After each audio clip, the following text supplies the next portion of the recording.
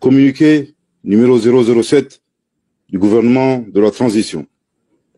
Le gouvernement de la République du Mali a appris avec stupéfaction les sanctions économiques et financières prises à l'encontre du Mali à l'issue des sommets extraordinaires de la communauté économique des États de l'Afrique de l'Ouest, CDAO, et de l'Union économique et monétaire ouest-africaine, UEMOA, tenu le 9 janvier 2022 à Accra, en République du Ghana. Ces mesures contrastent avec les efforts fournis par le gouvernement et sa disponibilité au dialogue en vue de trouver un compromis avec la CDAO sur le chronogramme des élections au Mali. Le gouvernement du Mali condamne énergiquement ces sanctions illégales et illégitimes prises à la fois par l'UEMOA et la CDAO, organisation pourtant fondée sur la solidarité et l'idéal panafricain. Curieusement, au moment où les forces armées maliennes engrangent des résultats spectaculaires dans la lutte contre le terrorisme, ce qui n'était pas arrivé depuis plus d'une décennie. Concernant l'UEMOA, un embargo décidé par les chefs d'État et de gouvernement, applicable à un État souverain, constitue une violation manifeste du traité de l'UEMOA et des statuts de la BCAO, la Banque centrale des États d'Afrique de l'Ouest. En outre, le gel des avoirs d'un État, des entreprises publiques et parapubliques ne saurait être appliqué par la Banque centrale, qui reste un organe indépendant auquel chaque État membre a concédé son droit souverain d'émission.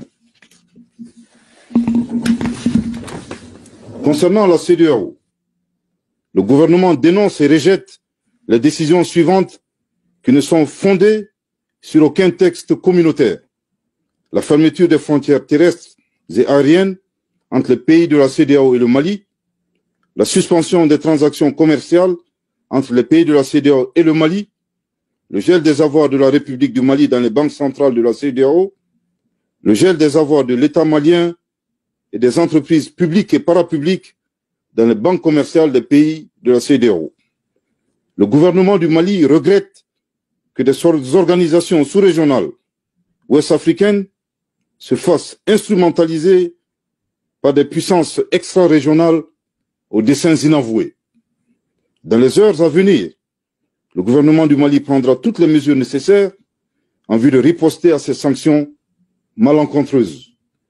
Le gouvernement du Mali déplore le caractère inhumain de ces mesures qui viennent affecter les populations déjà durement éprouvées par la crise sécuritaire et la crise sanitaire, notamment celle de la COVID-19. Le gouvernement du Mali invite les populations au calme et à la retenue face à toute éventualité de déploiement de forces étrangères contre notre pays. Le gouvernement du Mali appelle les forces de défense et de sécurité, ainsi que la population, à redoubler de vigilance et à rester mobilisée. Le gouvernement du Mali appelle à la solidarité et à l'accompagnement des pays et institutions amis. D'ores et déjà, sur la base de la réciprocité, le Mali décide de rappeler ses ambassadeurs accrédités dans les États membres de la CDAO et de la fermeture de ses frontières terrestres et aériennes avec les États concernés. Le gouvernement du Mali tient à rassurer l'opinion nationale que des dispositions ont été prises pour assurer l'approvisionnement normal du pays par tous les moyens appropriés. Au regard des violations répétées des textes, principes et objectifs de ces organisations, le gouvernement du Mali tirera toutes les conséquences et se réserve le droit de réexaminer sa participation à ces entités. Bamako, le 9 janvier 2022.